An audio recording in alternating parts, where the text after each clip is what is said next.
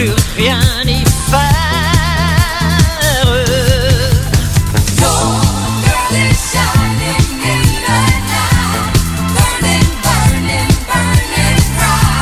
Je ne sais plus comment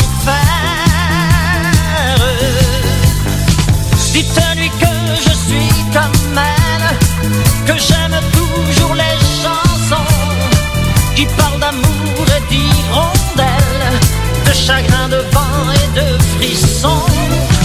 Dites-lui que je pense à elle quand on me parle de Magnolia.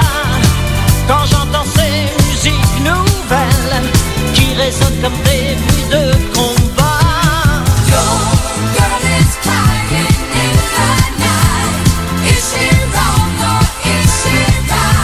Non, je ne